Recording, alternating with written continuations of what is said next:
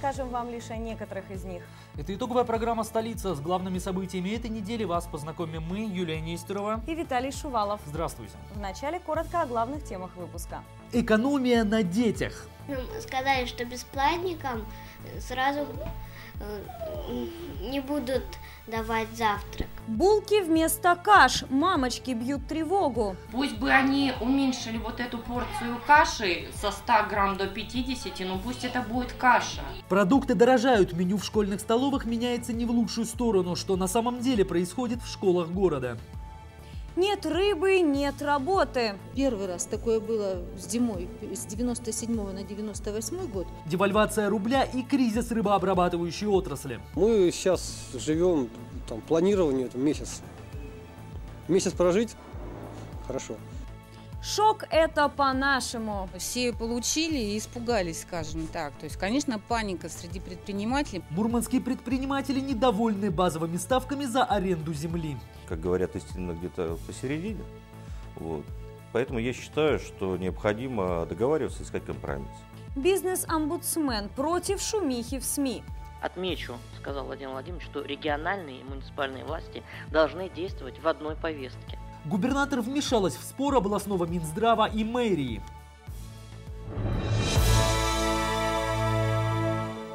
Вынужденные каникулы. Эпидемия гриппа буквально накрыла мурманских школьников. На сегодняшний день отменены занятия в 9 классах 5 образовательных учреждений.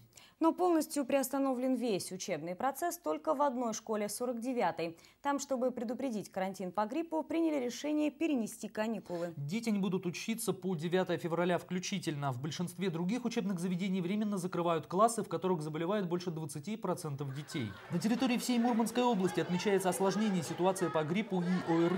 Но хуже всего дела обстоят именно в Мурманске. За минувшую неделю к врачам с симптомами вирусного заболевания обратились более трех с половиной тысяч человек. Эпидемический порог превышен почти на 44%. Наибольшее количество случаев заболевания зарегистрировано у детей с 3 до 14 лет. Тем временем в некоторых детских садах города и области карантин объявлен из-за роста случаев заболеваемости острыми кишечными инфекциями. Дошкольные учебные заведения не закрывают, но уделяют особое внимание санитарным нормам и правилам, а также профилактике ротовирусных инфекций. Ухудшение ситуации по заболеваемости острыми кишечными инфекциями наблюдается в Мурманске, Апатитах, Кировске, Мончегорске, Печенгском и Кандалакшском районах. Среди заболевших преимущественно дети раннего возраста. По результатам расследования исключен пищевой путь передачи инфекции. В основном она передается контактно-бытовым путем при несоблюдении правил личной гигиены. Ну и к тому же в учебных заведениях дорожают продукты и меню в школьных столовых меняется не в лучшую сторону. Нам в редакцию поступают звонки от встревоженных родителей. С 1 февраля вместо полноценного завтрака ученикам младших классов выдают стакан сока с печеньем. Причем это касается не всех учащихся, а лишь детей из малоимущих и многодетных семей. Увеличение финансирования на питание школьников не планируется, а переживать трудные времена, видимо, придется экономия на социально незащищенных слоях населения. Людмила Тамбова с малых лет учит своих троих дочек, Вику, Соню и Машу, правильному образу жизни. Девчонки, в пример ровесникам, искренне не любят газировки и бутерброды, зато обожают супы и каши. Маш, любишь газировку? Нет, лучше спрятать. Результаты воспитания налицо. Соня и Вика в этом году ни разу не пропустили школу из-за болезни. Учатся только на 4,5. Обожают коньки и лыжи. Так как семья Тамбовых многодетная, девочки в школе питаются бесплатно, два раза в день. Вот только в понедельник, когда дети пришли в столовую, им выдали не тарелки с кашей, а печенье с соком. Другие бы порадовались, но не девчонки, которые без того рассуждают о сбалансированном питании, как взрослые, тем самым порой ввергая в шок окружающих. Организм требует только полезной пищи, сбалансированной. А если есть сухомятку, будет, организму будет очень трудно переваривать эту пищу. Скажи, а кто тебе про сбалансированную еду рассказал? Я в книжках прочитала. Насколько я поняла из рассказов дочери, что э, как такового завтрака у детей теперь не будет. То есть я сторонник правильного горячего питания детей в школе каша будет отсутствовать. Взамен предложено было с обеда взять булку и стакан сока. Вика учится в третьем классе, Соня во втором. В ее классе точно такая же история. Из завтраков убрали каши, мясо и фрукты. Детям учителя объясняют, во всем виноват кризис. Нам рассказывали когда был классный час, нам сказали, что бесплатникам сразу э, не будут давать завтрак. А платные как питались сегодня? А платному давали не то, что бесплатникам, а завтрак. Как всегда? Да. Ты? Расстроилась?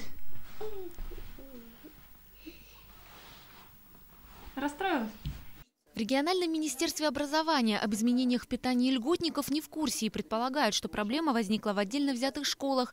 На сайт губернатора на этой неделе поступила похожая жалоба, но уже в другом учебном заведении. Там комиссия нарушений не выявила. Но пока к нам в министерство звонков не поступало. Вот то, что мы увидели сегодня, это была первая жалоба, мы ее оперативно отработали. Цены на продукты, э, конечно же, они повышаются, если говорить в целом, но уже какие-то закупки уже договоры определены, и закупка осуществляется по ранее заключенным договорам. А то, что нормы питания, они не могут быть уменьшены, потому что они идут в соответствии с санитарными нормами, и меню согласовывается, 10-дневное меню, поэтому здесь нормы уменьшены быть не могут. Финансирование на питание льготников в связи с экономической обстановкой не сокращалось, но и не увеличивалось. Из бюджета на ребенка выделяется 90 рублей в день. Насколько здоровое меню можно составить, исходя из этой суммы в связи с новыми ценами. Людмила Тамбова уверена, в любом случае фастфуд не должен победить. Пусть бы они уменьшили вот эту порцию каши со 100 грамм до 50, но пусть это будет каша. Но никак не стакан сока и булка, сухая мятка. Дети должны питаться правильно. Дарья Монастырева, Сергей Романец, Михаил Мелехов, Арктик ТВ. На сайте arcticdefistv.ru открыто голосование. Изменилось ли питание в школах для льготников в 2015 году. Также зрители канала могут позвонить в редакцию по телефону 70 13 70 и сообщить информацию по теме нашим корреспондентам. На этой неделе в Мурманск пришло первое судно с народной рыбой. Более трех тысяч тонн свежемороженной мойвы уже выгрузили в порту, а первую незамороженную свежую рыбу мурманчане смогут приобрести на следующей неделе, когда в родной порт зайдет траулер «Лазурный». И во время промысла мойвы в Баренцевом море на борту траулера произошел несчастный случай. Матрос получил производственную травму, двойной открытый перелом со смещением. Первую медицинскую помощь пострадавшему мужчине 78 года рождения оказали на борту рыбопромыслового судна. Было принято решение о его госпитализации. Судовладелец направил обращение в Северный экспедиционный отряд аварийно-спасательных работ. На запрос спасатели отреагировали быстро. В течение нескольких часов больного госпитализировали эвакуировали на дежурное судно «Пурга» в районе острова Западный Кильдин и доставили в порт Мурманск. Там пострадавшего уже ждала бригада медиков. В этот же день мужчина был прооперирован. Когда поступил сигнал, капитаны связались, оценили ситуацию и было принято решение максимально быстро доставить э, значит, э, больного в порт Мурманск. Поэтому спасатель быстро подошел э, к рыбопромысловому судну «Лазурный», Значит, э, травма оказалась достаточно сложной. На катере невозможно было передать больного, поэтому э, суда пришвартовались и передали больного уже в более э, спокойных условиях. Первым на промысел Мойвы отправился большой рыболовный траулер «Янтарный». В Мурманском порту карельское судно встречал Денис Прокопенко. Янтарный начал промысел 12 дней назад. Его экипаж первым вытащил трал с первой в этом году мойвой. И вот теперь привез груз народной рыбы в Мурманск. Отсюда она разъедется по всей России. Заказчиков хватает. Не смущает даже то, что первый улов мелковат. Рыба хорошего качества, размер обусловлен тем, что э, время может быть немножко рано, она может из этого поменьше. Но впоследствии она будет уже крупнее, ну, нагуляет вес и так далее. Думаю, следующий груз уже будет рыба большого размера. Жирная рыба, да еще и с икрой, пойдет в конце февраля, начале марта. Впрочем, промысел в этом году все равно проблемный. Виноваты погодные условия. Частые штормы на рыбалке сказываются негативно. Тем не менее, свои 3083 тонны рыбы янтарный выбрал. В порту нас встретили, так скажем, хорошо. Причалы поставили сразу. Э, после оформления э, началась выгрузка. Надеемся, что порт также эффективно сработает, как мы, выгрузит нас в кратчайшие сроки, для того, чтобы мы пошли продолжать мойвенную путину. Первая народная рыба в Мурманский порт прибыла мороженой. Морозили прямо на борту Янтарного, на фабрике. Здесь же паковали в брикеты по 16 килограммов каждый. В таком виде придет большинство из выловленной по квоте мойвы.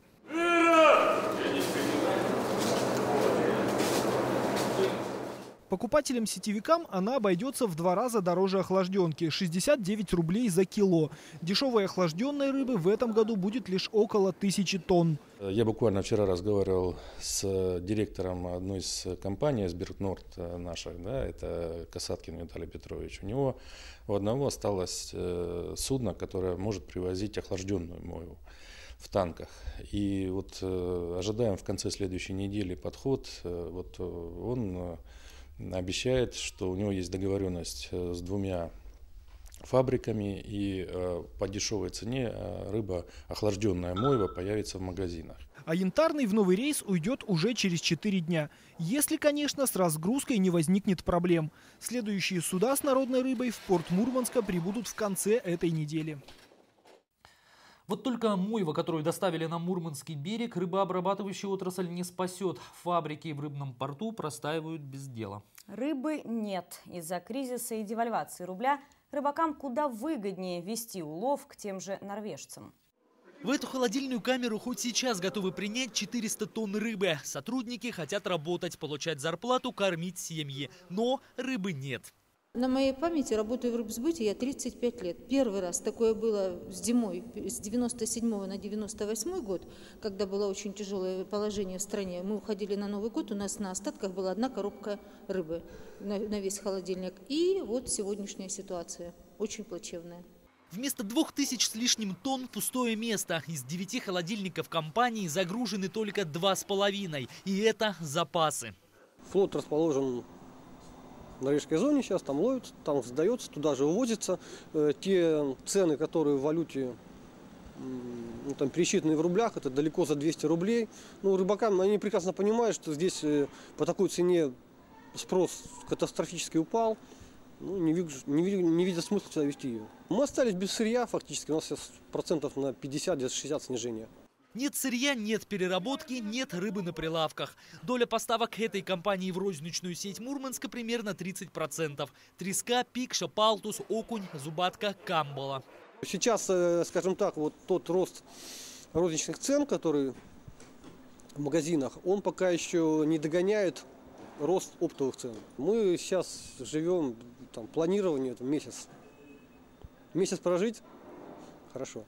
Эта небольшая фабрика по рыбообработке существует с 2011 года. Коллектив постоянный 50 человек, текучки практически нет. Шестидневка, рабочий день по 8 часов в две смены. Ну теперь, уже которую субботу, у работников вынуждены выходной. Пусто не будет, пусто будет в пятницу. Потому что завтра доработаем все охлажденное сырье. Пока не знаем, что мы будем делать в пятницу. Люди, конечно, переживают. Это скажется на их заработной плате.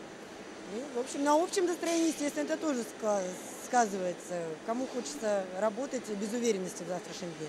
Основное сырье на фабрике – охлажденка, которую поставляли сюда прибрежного лова. Раньше, если не хватало, замещали мороженой рыбой. Теперь и ее нет. Выход, говорят владельцы, пока видят один. Как кончатся запасы, покупать сырье придется дороже, а соответственно и продавать. Все это напрямую отразится и на ассортименте, и на ценниках в магазинах. Виталий Шувалов, Родион Нестеров, телекомпания «Арктик ТВ».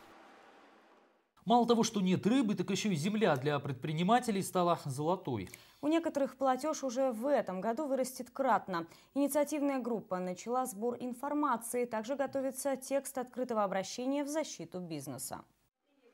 Под занавес 2014 года местный совет депутатов принял новую методику расчета аренды за землю. На смену кадастровой стоимости пришла базовая ставка. Научное обоснование предоставили питерские эксперты. Впрочем, стричь всех под одну гребенку не стали, придумали понижающие коэффициенты. Со своей стороны Комитет имущественных отношений обещал с каждым разобраться индивидуально. Не успел.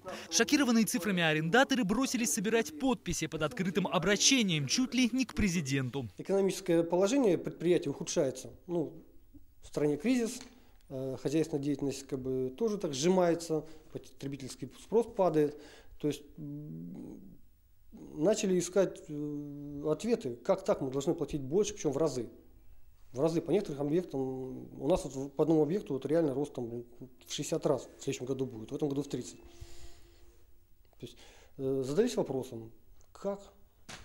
Начали, я кинул клич, ну, сейчас люди пишут, пишут активно. Судя по цифрам, базовая ставка больно ударила по владельцам складских помещений, производству и сервисным компаниям. Так, например, принадлежащей группе компании ТПК «Севрыба» пятый холодильник в Рыбном порту теперь стал золотым, при том, что в последнее время он пустует. По новой методике, утвержденной Советом депутатов города Мурманска, мы должны заплатить более миллиона двухсот тысяч рублей. То есть так же, как и все предприниматели, мы не видим э, экономического расчета да, и подтверждения, э, подтверждающей документации в таком росте. То есть с чем связан рост, не очень понятно. Да? То есть, э, может быть, какие-то полезные ископаемые нашлись у нас под... У всех сразу. У всех сразу, да, в городе Мурманске. Либо что-то такое экстраординарное случилось, что ставка выросла просто в разы. Логику властей понять можно. Аренда за землю составляет значительную часть бюджета. В прежние годы, когда предприниматели оспаривали кадастровую стоимость своих участков в суде, казна регулярно недополучала доходов. Теперь вопрос, где взять деньги, головная боль арендаторов. Автозаправки спецтехнологии чисто мурманский проект. Вот уже 12 лет местные трейдеры успешно конкурируют с федеральными брендами. Бензин плюс магазин и чашечка кофе в дорогу. Хороший бензин, приемлемые цены. Ну и как кофе можно попить, перекусить. Внешне все как прежде. Приветливый сервис и цены на бензин даже чуть ниже декабрьских. Только менеджмент компании уже начал бить тревогу. Как дальше выживать в таких жестких условиях? С нового года здесь обсуждают не колебания курса валют и биржевой котировки, а новые ставки за аренду земли, которые выросли по сравнению с кадастром в 15 раз. Даже с мультипликатором 0,5 получается, что платить придется в 7 раз больше. Все получили и испугались испугались, скажем так. То есть, конечно, паника среди предпринимателей. Мы не хотим митингов, мы не хотим каких-то конфронтаций, мы хотим просто, чтобы каждому э, предпринимателю города Мурманска, у нас не такой большой, тем более предприниматели, которые на рынке давно, которые благонадежные, просто обратили на нас внимание и каждому и в индивидуальном порядке с каждым вот пересмотрели эту аренду. Продавцы бензина сетуют. Мы уже все, что могли, оптимизировали. На станции работает 130 человек, 99% это женщины, матери, воспитывающие детей. Им обещали индексировать зарплату, а теперь как бы не сократили. Такого повышения мы, конечно, не ожидали. То есть и э, сейчас э, все наши, вот все наше бюджетирование, оно просто ни к чему потому что такого повышения мы, конечно, не ожидали. И в то же время, понимаете, все выходим, и вы ходите, и я хожу в магазин, и видим, как цены растут, и понимаем, что нашим сотрудникам тоже же надо и повышение, и все. И мы, конечно, вот сейчас настолько в подвешенном состоянии, потому что, э, ну, вот состояние безвыходное, да, э, платить надо, индексацию делать надо, э, матерям надо кормить детей, а в итоге-то с чего? Поисках выхода бизнес-сообщество не стремится лезть на баррикады. Пока свои выводы активисты строят на данных, полученных только от 30 компаний, а арендаторов несколько сотен. Не факт, что в итоге собственного расследования арендаторы станут писать письмо президенту. Тем не менее, предпринятые ими шаги и дискуссия на интернет-форумах уже дали свои плоды. Игорь Марарь, уполномоченный по правам предпринимателей при губернаторе и депутат Мурманского горсовета, уже пригласил активистов принять участие в работе комиссии горсовета в качестве полноправных участников. Первое, это еще раз обращаюсь ко всем предпринимателям, которым э, приходят новые платежи, это отправлять э, все Э, документы на мой сайт mb51.ru. Вот. Э, дело в том, что аргументировать свою позицию необходимо с цифрами в руках. Вот. И я считаю, что, конечно же, необходимо достигать компромисса между предпринимательским сообществом и э, администрацией города. Вот, э, как говорят, истинно где-то посередине. Вот. Поэтому я считаю, что необходимо договариваться, искать компромисс.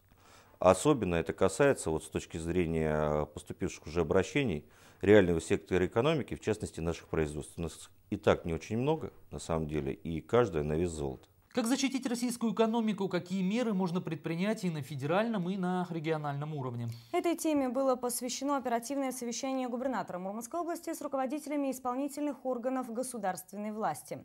Губернатор подчеркнула, что в Мурманской области основными направлениями должны стать поддержка импортозамещения, содействие развитию малого и среднего предпринимательства, снижение напряженности на рынке труда, поддержка эффективной занятости, оптимизация бюджетных расходов. Говоря о мерах, направленных на активизацию экономического роста, Марина Ковтун выделила возможность снижения контроля для индивидуальных предпринимателей до какой степени это налоговую нагрузку снижать, но и, конечно, обратная сторона медали а, – уменьшение поступлений налогов в бюджет. То есть нам нужно пройти вот между Сцилой и Харибдой в принятии такого рода решений. Региональная программа капремонта в Мурманской области заработала. Жителям пришли первые квитанции. Не обошлось и без сложностей. Больше 13 тысяч ошибок наделали сотрудники, рассылая квитанции жильцам. В фонде капремонта возникшие проблемы осознают, но сделать с ними в ближайшее время ничего не могут. Нет базы данных ответственных жильцов в домах, да и закон замедляет работу. В планах отремонтировать более 50 лифтов в многоэтажках. В Александровске, Пушном, Мончегорске и Кировске некоторые дома подрядчиков уже выбрали. Среди проблем неразбериха с квитанциями. Она возникает из-за того, что нет полных данных по домам. Быстро решить этот вопрос не получится, поэтому все, что остается людям, звонить с претензиями на горячую линию фонда. То же касается и выбора банка, через который производится оплата. Конкурс выиграл Россельхозбанк, но все условия соблюсти не смог. В результате сейчас в фонде капитального ремонта пытаются решить, работать работать с этим банком или нет. Готовятся документы все возможные, потому что несколько раз мои письма, обращения в этот банк, дальше встречи не дали пока результатов для того, чтобы банк увеличил приемную сеть за счет терминалов установки или может открытия филиалов, или еще быть, может быть, по вопросам, связанным с наемкой э, финансовых агентов, которые бы за него собирали. Ну, например, Почта России. Проблемы могут возникнуть с квитанциями не только за капремонт. Жителям региона следует внимательно отнестись к передаче показаний индивидуальных приборов учета электроэнергии. На территории Мурманской области сменился гарантирующий поставщик. Показания за февраль необходимо будет передавать уже в Коллатомэнергосбыт. Делать это следует только тем потребителям, которые получают отдельные квитанции от гарантирующего поставщика. Компания внедряет различные каналы для передачи показаний. Подробности будут указаны в квитанциях. Подразделения Атомэнергосбыта успешно зарекомендовали себя в Курске, Твери и Смоленске. Помимо этого, энергосбытовая компания, входящая в состав концерн «Росэнергоатом», обслуживает предприятия атомной отрасли в нескольких российских регионах. Смена гарантирующего поставщика не повлечет за собой существенных изменений в процессе организации энергосбытовой деятельности, а также не повлияет на тарифы. Вопрос о создании единой областной станции скорой медицинской помощи вызывает противоречивые оценки и мнения.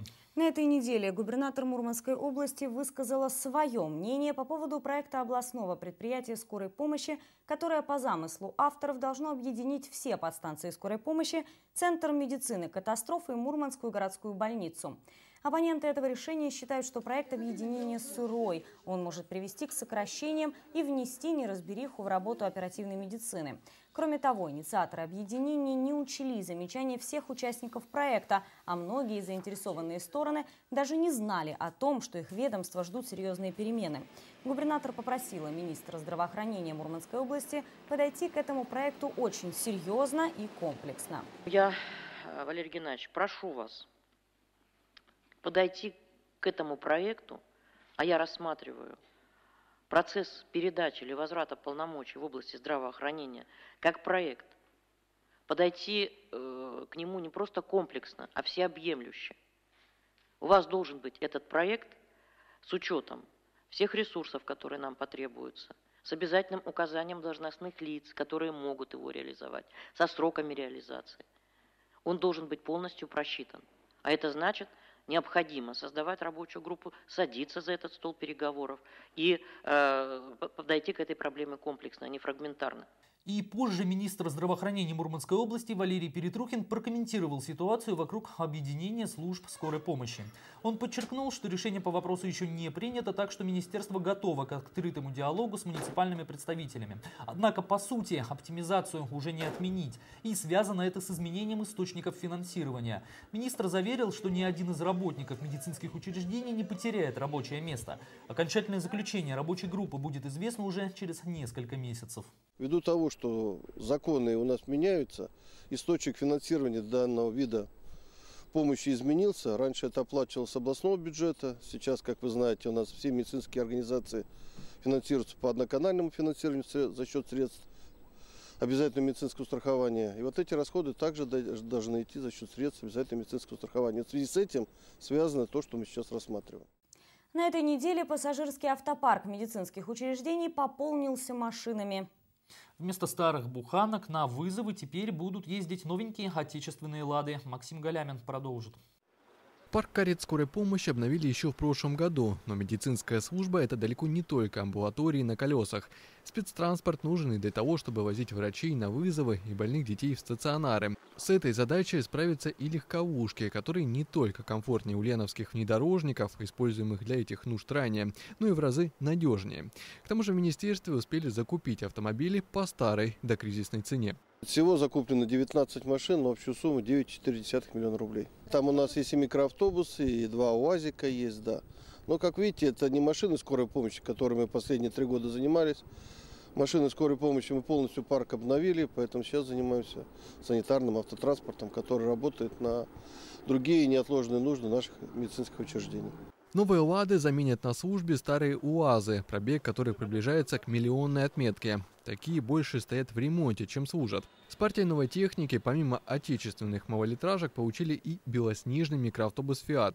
Он займет место в поезде «Здоровье», который колесит вместе с медицинскими специалистами по труднодоступным населенным пунктам. Эти автомобили будут использоваться для э, всех учреждений, каждое учреждение по одному, по два автомобиля будет. В основном это поликлиники, взрослые, детские.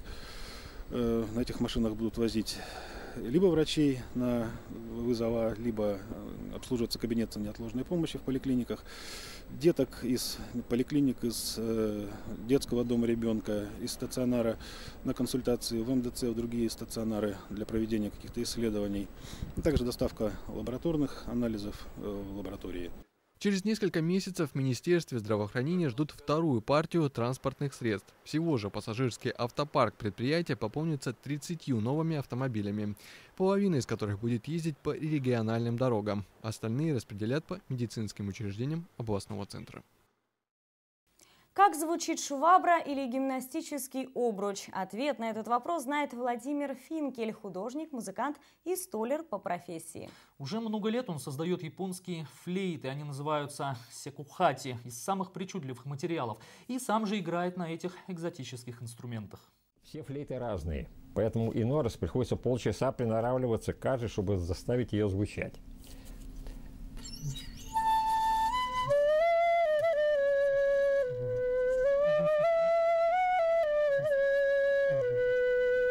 Плотник художественного музея Владимир Финкель – личность неординарная. И дело даже не во внешности, а в увлечениях, которым посвятил себя мастер во многом благодаря живописи и пению птиц. Моя работа, последняя работа, я здесь уже больше 15 лет нахожусь, находится в сквере, где очень много птиц прилетает. И зимой прилетают свиристели, и летом их очень много.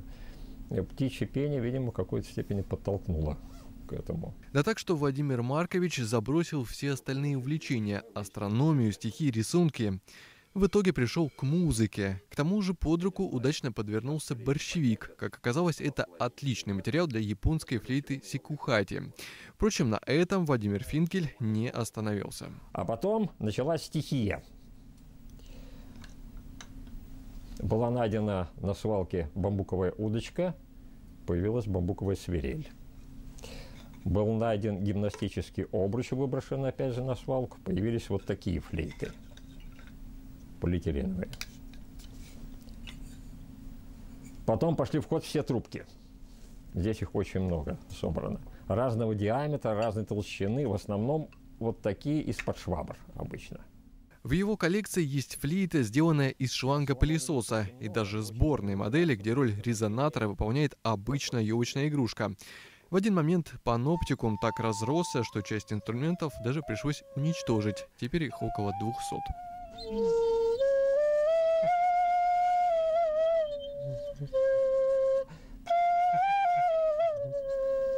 Ну, настроиться нужно на каждую флейту, поэтому сейчас, может быть, не совсем получается все, что хотелось. Но каждый экземпляр постоянно дорабатывается. Именно поэтому на инструмент нанесено множество пометок и надписей. Например, три семерки значит, что свирель почти идеальна. Тут же записаны мелодии, которые под силу исполнить на том или ином экземпляре. Для создания самой нехитрой флейты из невесомого борщевика достаточно и 10 минут работы обычным ножом.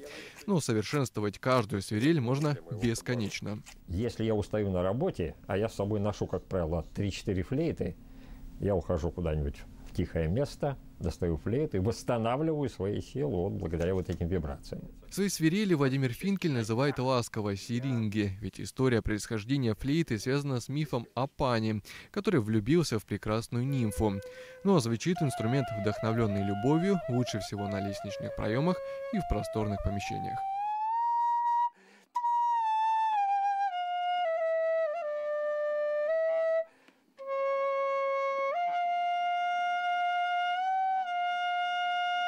Вот где у нее тоника, бог его знает.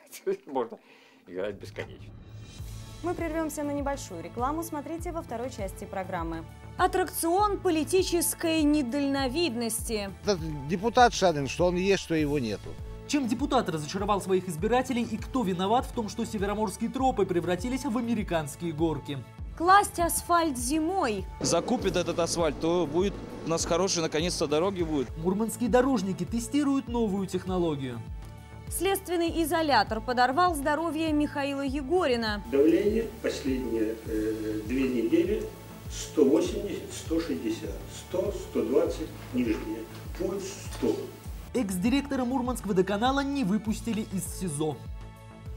Сказка по телефону. Произнести волшебные слова «сказка по телефону». И библиотекарь в течение 15 минут почитает сказку или отрывок из нее. Новая акция от сотрудников детской юношеской библиотеки.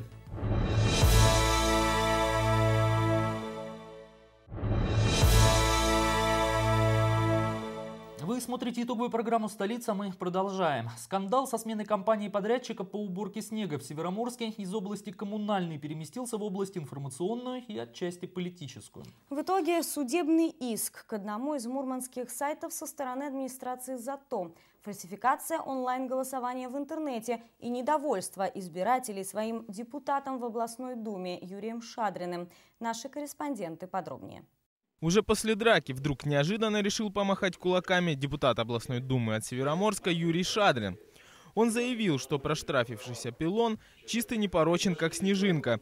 Причем сделал это народный избранник с помощью интернет-ресурса, который администрация зато уличила во лжи. Этот депутат Шадрин, что он есть, что его нету. То есть, а то, что он с этими, с пилоном, как бы, нашли они общий язык, но с, с обыкновенными жителями они не могут его найти чтобы, знаете, чтобы люди были довольны ими. Поэтому, как бы, что Шадин, что Пилон, они просто-напросто бездействуют. Может быть, депутат редко бывает в своем округе, иначе он бы обратил внимание на знаменитые североморские трапы, которые сегодня больше напоминают американские горки. Упасть на нем, как бы, проблем нет абсолютно. Особенно вот повыше, если взять, там тепловая трасса по низу идет, там лед сплошной, никогда его не чистят, ничего не посыпается. Переходить дороги очень страшно особенно у нас здесь на переходе. Бывает э, занесено так снегом, что даже не то, что спускаться, подниматься тяжело. Буквально этой зимой почистили его, наверное, один раз всего. Вот сейчас. До этого ходили, как на лыжах спускались. Вот так вот было состояние трапа. А может быть, Юрий Шадрин привык смотреть на происходящее из тонированных окон служебного автомобиля. Но даже в этом случае такие кучи снега он не мог не заметить. Слышал то, что появились какие-то депутаты, которые там защищают компанию. Раньше ДС как-то с этим получше справлялся, который был. А так компания не очень, как авто, автолюбитель, скажу. Вот некоторые пешеходные переходы, вот, например, такие вот, которые нерегулируемые, они как бы перед ними сугробы, пешеходов не видно, например особенно в темное время суток. Лоббируя интересы бизнеса, депутат не только не заметил людей за сугробами, но и дал повод сомневаться в своей неподкупности, как и модератора онлайн-голосования в интернете. Едва число недовольных уборкой снега стало зашкаливать, результаты виртуального опроса тут же обнулили. Надо отдать должное директору Пилона Богданову, он как-то сумел заручиться поддержкой и блогеров, и политиков. Куда хуже получается у коммерсанта с выполнением муниципального контракта. Я видел вчера, что приехал трактор, полчаса поработал, двор он так сильно не расчистил. как надо было. И уехал, все, нагреб кучи и кучи эти никто никуда не вывез. Видимость работы, по словам горожан, управляющая компания производит четко по графику. На этом любительском видео отчетливо видно, как автомобиль со снегом, игнорируя запрещающие знаки, подъезжает к заливу. Обычно ночью самосвалы, груженные снегом, несмотря на запрещающие знаки, через Приморскую площадь проезжают э, в район причала, где скидывают этот снег в большие кучи. Потом специальной техникой все это скидывается прямо в залив. От перемены мест слагаемых сумма, как известно, не меняется, и специалисты и горожане от такой услуги за бюджетные деньги, кто бы ее ни оказывал, рады отказаться. Если честно, компанию не знаю, ну, очень плохо, очень плохо. Казалось бы, в этой истории можно поставить точку, вот только небесной канцелярии не прикажешь. Снег идет, в информационные снежки играть поздно, Североморску срочно требуется на работу дворник. Тем временем мурманским дорожникам мороз не помеха. Асфальт теперь можно класть и при минус 20. Новая технология позволит избежать уже привычной ситуации, когда магистрали города к весне превращаются в решето, а ямы латают с помощью кирпичей. Где появятся первые зимние заплатки? В материале Максима Галямина. Все начинается так же, как и летом. Рабочие снимают старое свое покрытие и готовятся к укладке асфальта. Но есть несколько нюансов. На улице сейчас далеко не май, и температура воздуха уверенно застыла на отметке минус 20. Так что специалисты щеголяют в валенках и теплых спецов. Но в конечном итоге вот мы нашли технологию, которая испытана в Санкт-Петербурге. Закуплена пробная партия асфальта, так называемого холодного который сегодня мы попробуем положить на одной из самых напряженных магистралей города. А, для нас очень важно не только испытать а, его с точки зрения укладки, а как он будет работать вот э, в условиях такой нагруженности, как, Коль, как, как Кольский проспект. Несмотря на название «холодный», инновационное покрытие привозят еще тепленьким в обычных строительных мешках. Высыпают на дорогу и плотно утрамбовывают виброплитами. По обновленному участку дороги можно будет ездить сразу после завершения работ. Первые эксперименты показали, что такой асфальт выдерживает условия непогоды не хуже обычного. Мы уже начали такую работу, э, будем говорить, в Октябрьском округе. Мы ряд ям именно согласно вот этой технологии э, пробовали уже. Э, значит, ну, сейчас вот уже прошло два месяца, будем так говорить. Результат у нас пока положительный. То есть ямы ликвидированы, и я думаю, все будет нормально, все будет хорошо, и должно получиться с этим. Один минус. На Мурманском заводе уникальную смесь готовить не умеют, так что везут асфальт из Петербурга а это автоматически повышает его стоимость на 30%. Впрочем, дорогую новинку будут использовать только для текущего аварийного ремонта, чтобы весной городские магистрали не были похожи на кирпичную брусчатку. И не будет уже у нас таких проблем с ямами. Если вот решится вопрос, конечно, на уровне администрации, что закупит этот асфальт, то будет у нас хорошие, наконец-то, дороги будут, и мы только рады будем, что выполнять. Слушайте, а рабочим сложнее работать с такой технологией? Или или нет? Да не сказать, что сложнее. Э, главное гла- грамотно все выстроить, все, чтобы людям тоже было удобно, чтобы они тоже понимали свою, они как бы все хорошо работают у нас, у нас мужики-то, конечно, ответственные, и все как бы знают, что надо делать, потому что дороги сами по ним же повседневно ездим, так что тоже как бы так, так же в них и попадаем. В ближайшее время рабочие будут латать ямы и выравнивать колейность на Кульском проспекте. Всего же нового асфальта на пробу закупили около двух тонн. Так что не стоит удивляться тому, как кладут покрытие зимой. Это теперь не нарушение технологии. Бывший председатель областной думы Василий Шамбер остался под домашним арестом. Мурманский областной суд ходатайство его адвокатов отклонил, согласившись с доводами прокурора о необходимости оставить все как есть. По мнению адвокатов Василия Шамбера, держать мужчину под домашним арестом законных оснований нет. Более того, есть причины его выпустить под подписку о невыезде или под залог. Например, по словам защитников, под домашним арестом Шамбер не может работать, а значит и получать деньги. Положенные ему государственные выплаты тоже до экс-председателя парламента не доходят. Ссылались адвокаты и на серьезное заболевание Василия Шамбера, и на то, что он единственный кормилец 11-летнего сына. Тем не менее, суд прислушался к мнению прокуратуры, которая, в свою очередь, посчитала, что причин для послаблений нет. Мурманским областным судом сегодня оставлена без удовлетворения апелляционная жалоба стороны защиты в интересах обвиняемого Шамбера а, на постановление Октябрьского суда, которым продлен срок домашнего ареста. Я полагаю, что э, судебные решения, как суда первой инстанции, так и суда апелляционной инстанции, являются законными, обоснованными, мотивированными, и оснований к их а, обжалованию в дальнейшем не имеется. Считаю, что с учетом а, личности самого обвиняемого, а также всех материалов уголовного дела, которые представляют особую сложность, выводы суда являются правильными. А на заседании Первомайского суда бывший директор Мурманского водоканала Михаил Егорин, обвиняемый в вымогательстве и подкупе, также пытался обжаловать меру пресечения. Напомним, с 23 декабря он находится в следственном изоляторе. 5 февраля заканчивается срок заключения Михаила Егорина под стражу. Но предварительное следствие, которое, к слову, длится уже два месяца, ратует за продление этой меры еще на 4 недели. Мотивируя тем, что подозреваемый может оказать давление на свидетелей, бывших подчиненных, или, чего хуже, сбежать. Ведь Михаил Иванович попытался сделать это при задержании. Вот только далеко уехать у шокированного управленца все равно не получилось. Он просто врезался в полицейский УАЗ. Сидите. Присиди, присядьте на стул, пожалуйста. Вы перекрыли мне кровообращение. Присядьте, пожалуйста. Вы оказали сопротивление сотрудникам полиции при исполнении. Бывший директор Мурманского водоканала, обвиняемый в коммерческом подкупе и вымогательстве более 12 миллионов рублей, еще в декабре прошлого года целиком признал свою вину. Но следователи и суд посчитали первоначальную меру пресечения, домашний арест, слишком мягкой и заключили Егорина под стражу в СИЗО. И это при том, что экс-начальник имеет целый список хронических заболеваний и, по версии адвокатов, может просто не дожить до вынесения приговора. У него очень серьезные заболевания, связанные с гипертензией и ИБС. Это ишемическая болезнь сердца и гипертензия, гипертензия у нее третьей стадии. Это когда человек фактически не может делать резких движений, когда человек встает с постели или чистит зубы, у него сразу начинается одышка, то есть он в любой момент может наступить тяжелые последствия. В накуренной камере, где содержатся обвиняемые, лечить последствия двух инфарктов, один из которых произошел уже после задержания, крайне сложно, отмечает сам Михаил Иванович.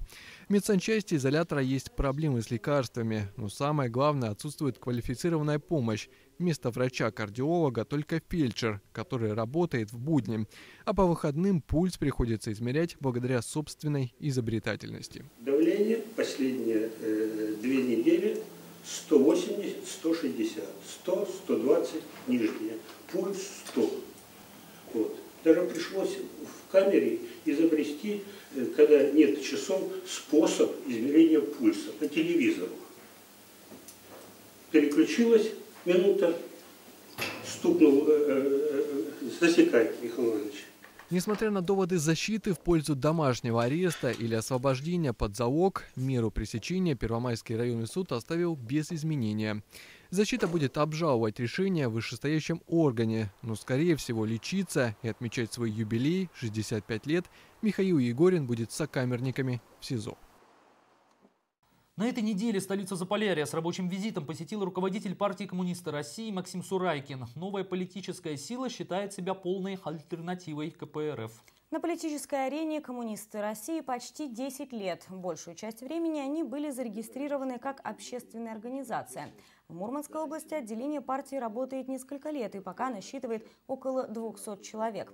В целом же по стране у новых красных несколько десятков тысяч сторонников. В столице Заполярья Максим Сурайкин посетил детский сад номер 93 и по достоинству оценил реализацию городской программы «Теплое окно», а также встретился с заместителем губернатора Мурманской области Анатолием Векшиным и главой города Алексеем Веллером. Вы представлены в горсовете Мурманска, поэтому наверное, действительно ваши идеи пришлись в какой-то степени по душе мурманчанам. И, безусловно, дальнейшее сотрудничество представляется весьма полезным, весьма интересным. Повышение цен на продукты, коммуналка и сокращение бюджетников. Эти темы в период кризиса волнуют жителей Заполярья больше всего. Люди в том числе обращаются и в общественную палату Мурманской области. Те, в свою очередь, отправляют обращение на федеральный уровень, где их, возможно, рассмотрит правительство. Общественная палата Мурманской области была сформирована в 2008 году. В нее входит 45 человек. В период кризиса обращений в организацию стало больше.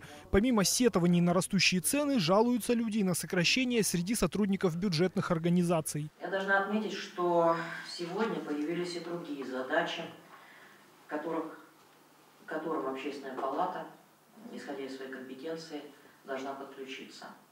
И в первую очередь я имею в виду реализацию закона о социальном обслуживании граждан. Второе – это проведение процедуры лицензирования управляющих компаний. Этот процесс уже наступил. Создание системы контроля за необоснованным тарифом, ростом тарифов и цен. Но у нас есть э, довольно сильные общественные организации, которые занимаются на потребительском рынке контролем, в том числе потребительских цен вот, из э, контроля за нашими поставщиками, продавцами, сетями. Вот, они ведут эту работу и с, э, через сами самостоятельно, через общественную палату. Эта информация передается в общественную палату Российской Федерации, которая ее, соответственно, передает в правительство. Юрий Мананков в этом году снова стал секретарем Общественной палаты Мурманской области. Руководство организации назначают каждые два года. Общественная палата, на мой взгляд, ее главная задача говорить о проблемах вслух громко и доводить нужды нормального человека до слуха вверху сидящих. Например, Общественная палата, правда, федерального уровня громко и вслух заговорила в конце прошлого года. Один из ее членов посоветовал режиссеру Андрею Звягинцеву выйти на Красную площадь в Москве, встать на колени и попросить прощения у народа России за фильм «Левиафан». Впрочем, делать этого Андрей Звягинцев не собирается, а пока его «Левиафан», первая официальная премьера которого состоялась в Териберке, где и снималась большая часть картины, одерживает победу за победой. На этой неделе «Левиафан» был назван лучшим фильмом года на премии «Белый слон», которую ежегодно присуждает гильдия киноведов и кинокритиков России, а также получил гран-при третьего фестиваля египетского и европейского кино. В программе участвовали 66 фильмов, в том числе 12 полнометражных. Главный приз, статуэтка «Золотой столб Джет» отправляется в Россию впервые. Таким образом, «Левиафан» еще до российской премьеры, которая состоялась в четверг, собрал множество престижных наград. Гран-при 58-го лондонского и мюнхенского кинофестивалей. Впервые в истории российского кино «Золотой глобус» в Лос-Анджелесе. Приз за лучший сценарий на фестивале в Каннах. Главный приз кинофестиваля в Сербии. Наконец, российскую национальную премию «Золотой орел» за лучшую режиссуру. Также картина Звягинцева выдвинута на британскую премию «Бафта» и «Оскар» в номинации «Лучший фильм на иностранном языке». До этого «Оскара» в Россию привозил только Михалков с картиной «Утомленные солнцем». Впрочем, по количеству наград Звягинцев уже обошел своего соотечественника. Приехали научить студентов, не нашлось чему учить. В Мурманском колледже искусств на этой неделе завершился необычный проект. На три дня преподаватели передали свои обязанности коллегам из Норвегии. По замыслу организаторов гости должны были дать серию мастер-классов молодым студентам, но уровень учащихся превзошел все ожидания норвежцев. Результатом проекта стал большой совместный концерт. Не всегда залог успешного концерта – тщательная подготовка. Еще несколько дней назад все эти люди не знали о существовании друг друга, а сегодня играют на одной сцене. Да и не просто джем, а полноценную программу.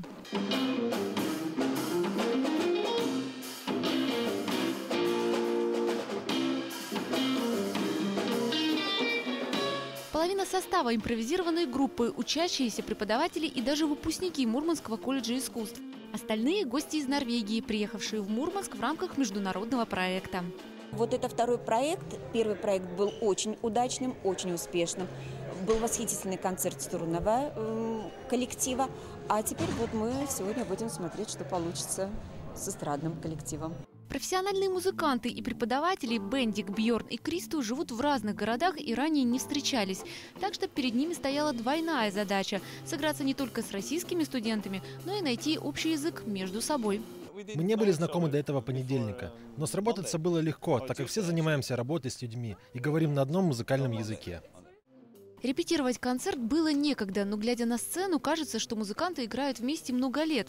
Кроме того, гости успели дать серию мастер-классов, но это оказалось непростым делом. Норвежцы признаются, когда учителя впервые услышали, как играют ученики, промелькнула мысль, чему мы можем их научить. Мы почти не спали эти дни, всего несколько часов. Мы должны были готовиться каждую ночь и обдумывать программу для студентов на завтра. Но это привычный для нас режим. Время совместной учебы пролетело быстро. В итоге и учителя, и ученики остались довольны. Не так это сложно оказалось, на самом деле. Как-то и ребята такие, ну, общительные, э, гибкие достаточно и в плане э, программы, багажа, и в плане ну, договориться с ними. То есть э, удобно, комфортно мы себя чувствуем с ними, как-то это так позитивно для всех, в общем. Мне очень понравились люди в этом колледже, это отличные музыканты. Мы повеселились в эти дни, играя вместе. Сразу после концерта норвежские гости разъедутся по домам. Будет ли продолжение у проекта по обмену опытом, вопрос пока открытый. До 28 февраля в столице Заполярья проходит конкурс народного признания «Наш любимый врач». Участие в конкурсе принимают все детские врачи медицинских учреждений Мурманска. После регистрации на портале «Наш любимый врач.рф» родители смогут выразить слова благодарности любому врачу, рассказать историю выздоровления ребенка, а маленькие пациенты поддержать любимого доктора рисунком на медицинскую тему. За все эти действия кандидаты будут получать определенное количество баллов, формируя рейтинг врача. За лайк – 1 балл, за отзыв или историю о работе доктора – 2 балла, за детский рисунок – 5. Все творческие работы автоматически автоматически помещаются в раздел «Галерея» и тоже участвуют в конкурсе детского рисунка. Конкурс интересен тем, э, что будут выигрыши и детки, которые э, примут в этом участие. Э, то есть детки, которые направят свои рисунки за своего любимого врача, они тоже обязательно получат какие-нибудь награды и призы.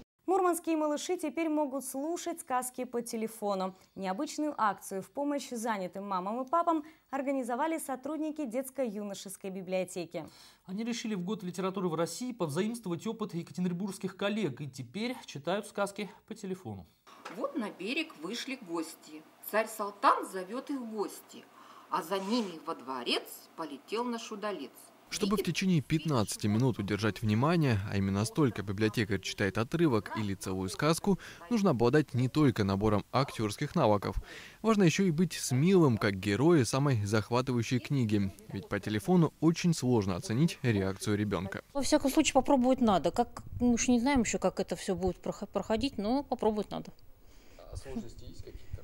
Ну, сложность только в, это, в репетиции надо потренироваться как это все будет выглядеть, как, как детям понравится еще, кто знает. Ну, я думаю, что в этом сложность, как, как дети будут реагировать на наше мероприятие, на нашу акцию. Светлане Бузук выпала нелегкая роль – быть первопроходцем. Акция только стартовала, и она пока единственная из шести библиотекарей, кто прошел своеобразное крещение на практике. Но Светлана Ивановна уверена, если уж ее взрослые дети с удовольствием слушали про царя Салтана во время подготовки, то и маленькие дети на том конце провода не заскучают. Мы стараемся э, увлечь ребенка своим чтением, чтобы ему захотелось прийти э, заинтересоваться книгой и, конечно, прийти в библиотеку. Оторвать его нужно на некоторое время, хотя бы от просмотра телевизора э, или от компьютера. Уже, уже, уже позвонили. Давайте сразу начнем. Может, первый звонок, давайте сразу начнем читать сказку. И правда, не успели мы записать интервью, как раздался первый звонок, даже раньше времени. А спустя несколько минут и второй. И если сначала у библиотекарей были зерна сомнений по поводу востребованности услуги, то теперь все это уже в прошлом. С просьбой могут обратиться как родители, так и сами дети. Нужно набрать просто номер телефона 44 63 52, произнести волшебные слова «сказка по телефону». И библиотекарь в течение 15 минут почитает сказку или отрывок из нее, которая заявлена на этот день. Читать сказки в детско-юношеской библиотеке будут каждое воскресенье с часа дня до четырех безвозмездно. Причем каждые выходные слушатели ждет новое произведение. Какое? Не секрет. Список есть на сайте учреждения. Кстати, в будущем здесь планируют озвучивать произведения отечественной литературы посерьезнее для детей среднего школьного возраста.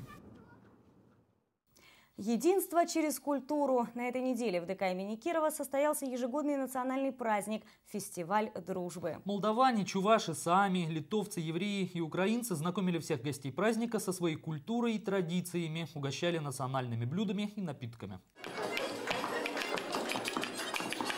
Культурных границ не существует, и фестиваль дружбы это подтверждает. На одной площадке собрались представители 12 национальных общественных объединений Мурманской области. Чем богата земля литовская, с гордостью демонстрируют ее уроженцы. Изделия из керамики, льна и национальные ленты. Они цены для литовца любого каждого, потому что человек приходит в этот, в этот мир с лентой и уходит в иной мир тоже с лентой.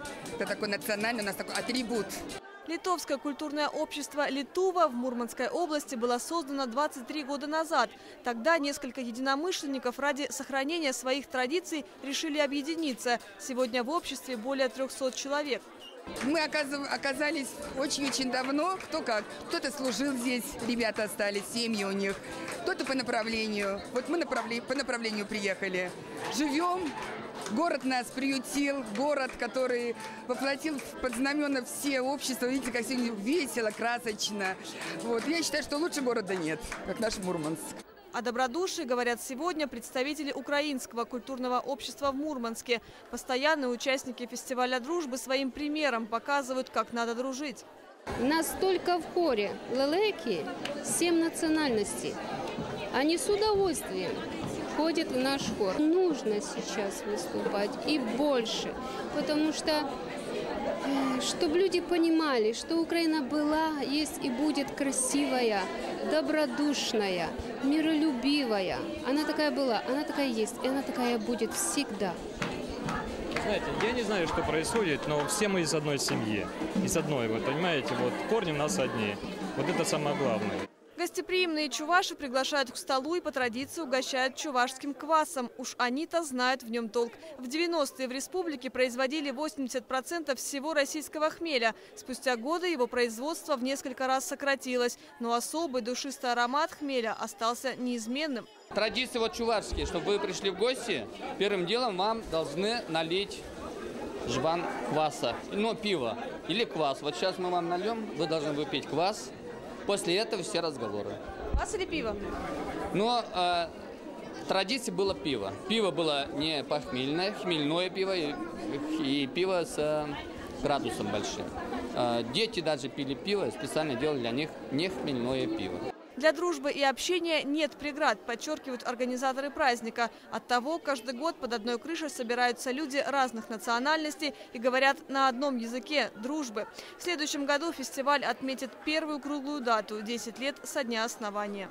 С одной стороны, мы представляем все единую российскую нацию, а с другой стороны, каждый имеет свою специфику, каждый э, по уникальному интересен. И вот это очень важно для того, чтобы мы лучше друг друга понимали и меньше было э, ну, различных проблем при коммуникациях между представителями разных народов. Это основная цель.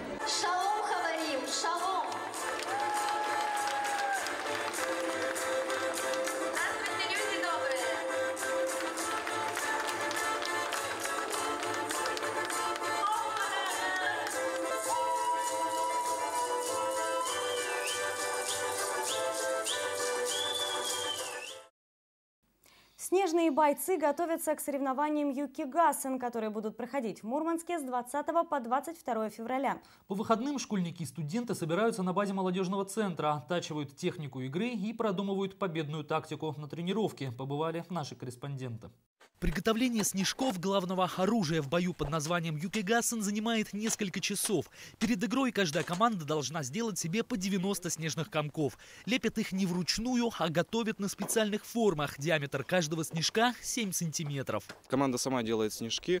Заранее в палатку насыпается снег. С помощью тепловой пушки он нагревается ну, до температуры, когда он начинает липнуть. Потом мы берем лопатами этот снег, закидываем в формы и формами уже прессуем, и он становится вот как снежками уже полноценными, круглыми. Без защитного шлема на поле вход запрещен. Снежный бой только на первый взгляд кажется безопасной игрой. На самом деле такие снежки из подтаявшего снега на морозе леденеют. После точного попадания на теле могут остаться синяки. Если в тебя попадут, то тогда больно очень. Но обычно уворачиваемся как-то.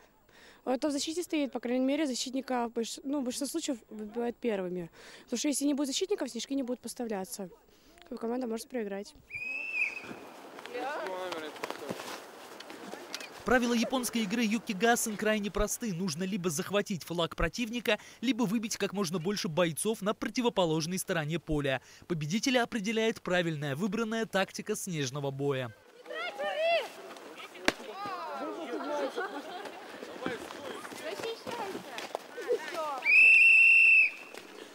Двое отвлекают, кто-то прячется, кто-то кидает. Защитники нам очень помогали, комки хорошо катали. На сначала, скорее всего, двух ключевых игроков, которые сидят за первыми блоками, убрать с поля, а потом уже, скорее всего, прорываться до флага. Соревнования по Юки Гасен пройдут в Мурманске с 20 по 22 февраля. Лучшие участники первых трех команд победителей войдут в сборную города Мурманска и представят Россию на международных соревнованиях в Северной Норвегии. Уже в марте в городе Вардио состоится первая игра. Юля, ты в детстве играла в снежки? Ну, конечно, как и все дети, играла и не исключение. А перестала когда, в каком возрасте? Очень хороший вопрос, я не помню. Знаешь, я, кстати, тоже не помню. Где-то в школе, наверное. Ну да. И у нас на этом все. Такую увидели эту неделю наши корреспонденты. А мы прощаемся с вами. Всего доброго и до встречи.